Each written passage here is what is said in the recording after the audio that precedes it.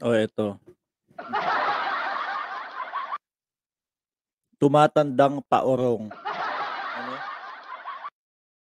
Ay naku, mga Pinklawan. Eto, mga bossing 'tong mga 'to, yung mga mga Pinklawan at kung sino-sino pa na mga, um, anti-government na mga grupo o na mga tao, wala ng ibang wala ng ma ibang binanat sa mga supporter ni Pangulong Bongbong Marcos kung hindi Talyano Gold, ano?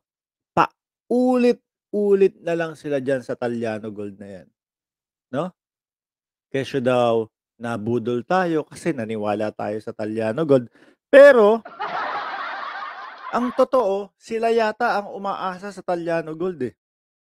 Alam niyo po 'yun? Kasi bakit? Tayo wala, nag-aantay lang tayo kung ano yung mga proyekto ni Pangulong Bongbong Marcos, talagang sumusuporta lang tayo doon sa mga programa ni Pangulong Bongbong Marcos, Inday Sara Duterte at kasama niyang mga senador at mga kongresista na sumusuporta sa kanya. Pero etong mga 'to sila yung nagpapaulit-ulit na, "Oh, hindi pa kayo nakakakuha ng Talyano Gold." Alam niyo kung bakit ko nasabi na tumatandang paurong ito? Ito, kilala niyo ba 'to? Nalunod na yata 'to sa kasikatan. Oh, masyado niya ng na-enjoy yung kasikatan, napansin, eh. Napansin, so, ay naku, um, gusto ko yung ganito. Tuloy-tuloy ko na. Kahit wala naman, um, saysay yung mga pinagsasasabi nitong matanda na 'to. Rowena Guanzon. Sabi niya pa dito, I repeat, repost 'to, eh. Hashtag mga inutil, oh. Mga inutil daw tayong mga supporter ni PBBM. Ano? Kayo nga diyan, eh, wala kayong ginawa, eh. 'Di ba? Kayo ang mga inutil dahil hindi niyo naipanalo yung dapat niyong ipanalo. Kaya kayo mga nagngangangalngal diyaan, ano? So, kung may nagawa kayo na maganda panalo sana yung presidente ninyo. So, kayo ang mga inutil dahil ah, mahina kayong nilalang. Biruin niyo sikat pa naman kayo, yung mga strategy niyong ginawa, olats, pangtalo lang yun, eh. Yung mga gano'ng paninira papanik ka ng entablado may gloves ka pa. Tapos ang sasabihin mo lang, eh, yung paninira dun sa kalaban. Hmm. Hindi narinig ng tao yung mga plataporma nung kandidato ninyo. Kahit na ngayon na talagang patuloy ang Administrasyong Marcos sa paggawa at pagresolba nung mga problema dito sa ating bansa, eh, pilit niyong babaliktarin. Ano? Oh, eto, sabi niya, Rowena Guanzon, to BBM loyalist it is BBM's job to create jobs, not ours. Oh. Eh, alam naman po natin yun. 'Di ba, mga kababayan? At alam ko, ah, alam ko nakikita nung mga supporter ng pangulo, nung mga, um, pro-government yung mga ginagawa o yung mga proyekto ng ating pangulo para umunlad at tumaas ang antas ng mamamayang Pilipino. Ang tanging mga bulag lang po 'no, sa mga proyekto ng ating gobyerno ay etong mga kagaya ni Rowena Guanzon. Hindi na nga nakakatulong sa gobyerno. O inutil pa din, 'di ba? Ano tawag mo doon sa mga walang nagagawa? Oh, eh, di inutil. Tapos kaduktong niyan, oh, kayo nga wala pa ring Talyano Gold.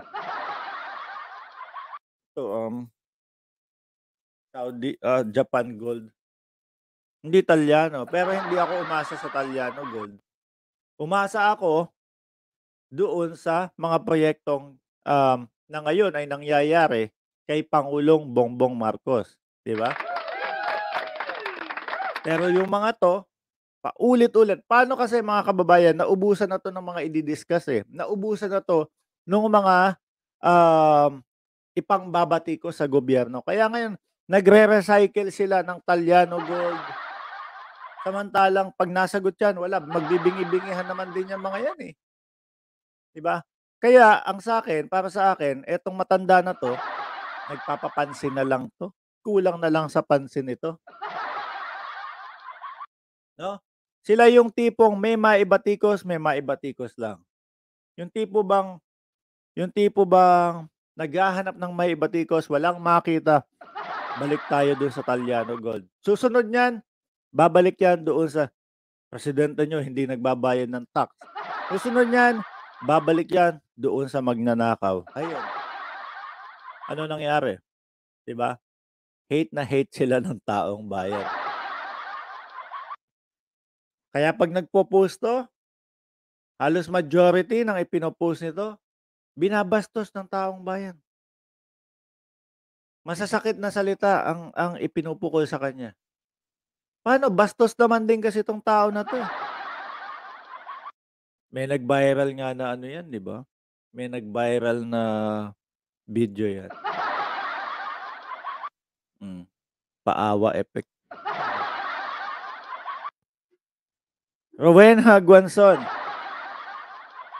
Madam, kami po ba talaga yung normal na citizen or kami talaga yung kumbaga yung mga, um simpleng mamamayan? O parang mas mababa pa ang lebel mo sa'min. Ikaw pa ang naging ano, ah, um, commissioner. Pero yung tingin namin sa iyo, nandun sa baba. Yung pinagmamalaki mo na asindera baka asindera. Ano? Puro yabang. Pero, anyway 'wag na nating masyadong pagpapansinin. Kasi alam naman natin malapit na. Malapit na din. Konti na lang. Konti na lang din, eh, kumbaga ayun. Yun na yun, 'di ba? So, hayaan na natin siyang bumanat ng bumanat. Siguro, um, 'pag nandoon na siya 'no?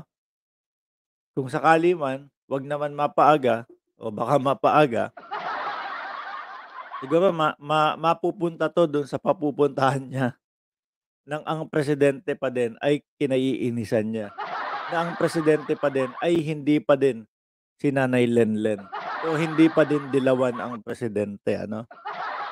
Kumbaga, makakalipasan na nito na ang presidente ay yung gusto ng mamamayang Pilipino, hindi yung pinipilit na iluklok ng kampo nila.